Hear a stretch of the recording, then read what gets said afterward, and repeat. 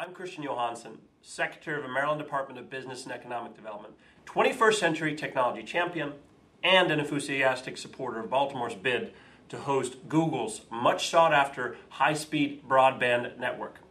From our busy ports to Johns Hopkins laboratories to all of our small businesses and communities throughout the city, a network like this will raise the bar on efficiency, connectivity, and innovation. We have always taken great pride in our blue collar roots and lunchbox work ethic. We know the value of hard work and an honest job.